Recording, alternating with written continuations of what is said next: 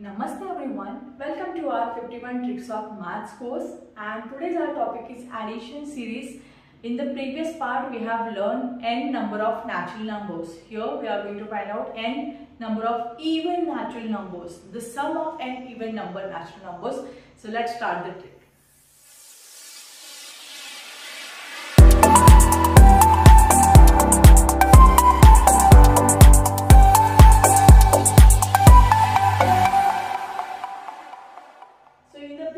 when the only natural numbers are there. So natural numbers, the formula was n into n plus 1 divided by 2. Okay. And here the formula for n even number is only n into n plus 1.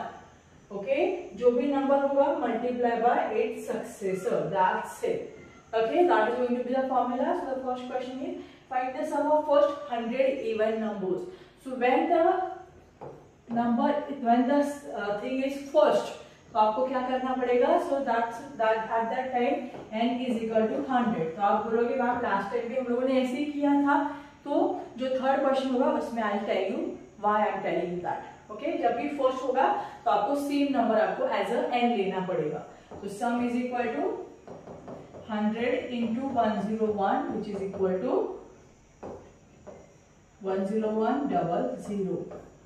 So first hundred even numbers का addition कितना होगा sum कितना होगा ten thousand one hundred okay next is find the sum of first two fifty even numbers first two fifty even numbers so that is n is equal to because there is a word first so the n is equal to 250 so that's why the sum is equal to 250 times 251 right and just do multiplication that is going to be your answer. 251 times 250 so that is 1 0 so write down 1 0 as it is.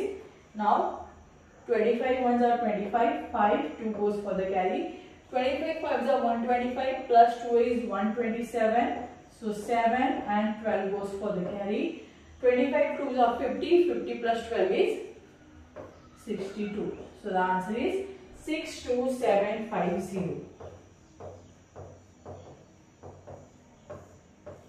okay so first 250 even numbers की sum कितनी होगी? 6000 62750 तो याद समझ में आ गया? First अगर होगा तो वहाँ पे आपको वैल्यू ऑफ़ एन सेम लेना है। Now the next question is find the sum of even numbers from 1 to 300 अभी the questions are from 1 to 300 from 1 to 300 at that time, what you have to do is From 1 to 300, how many even numbers are there from 1 to 300? There are 150 even numbers and 150 odd numbers, no? Yes. So यहाँ पे आप n की value क्या लोगे half of 300 which is equal to 150. Understood जब first होगा तो same n की वैल्यू लोगे अगर फ्रॉम टू टू होगा तो हाफ़ कर दोगे तो the sum is equal to 150 times successor is 151 and just find out the answer.